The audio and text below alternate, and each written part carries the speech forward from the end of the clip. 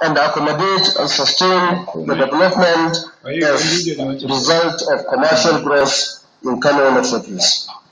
Government therefore proposes to spend 81.01 billion naira on development and improvement of infrastructure under the Ministry of Works, Housing and Transport, as well as the Ministry of Land and Physical Planning.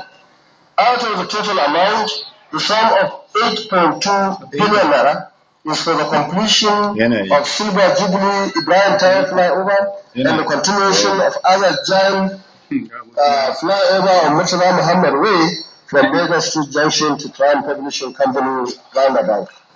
In addition, we have earmarked 700 million naira for the construction of an underpass at Gadanka and Kofar Kabuga. The first of its kind in this part of the country.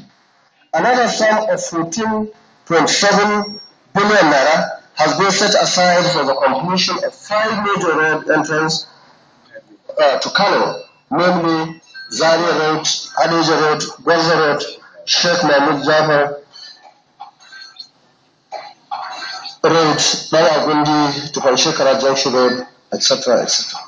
Similarly, the sum of 4 billion naira has been earmarked for the continuation of the uh, channelization of Jakara River project, popularly known as Wujuwujuwe.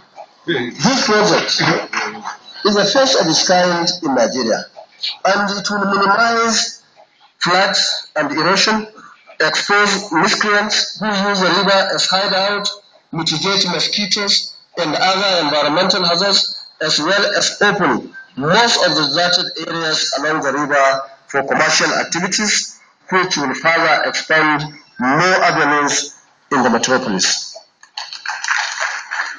Government will pursue vigor the construction of Kwanar Mandawari to Aisani, to Aminu Kano, Sheikh Mahmoud Salgari from Jakara to Goran